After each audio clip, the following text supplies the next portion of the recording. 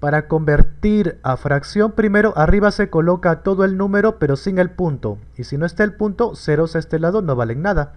Queda 330. Ahora debajo siempre primero el número 1 y como después del punto hay tres números, acá se colocan entonces tres ceros. O sea, la cantidad de números después del punto es la cantidad de ceros que se pone abajo. ¿Se podrá simplificar?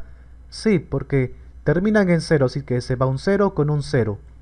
Queda 33 sobre 100. ¿Y se podrá simplificar esto? No, ¿verdad?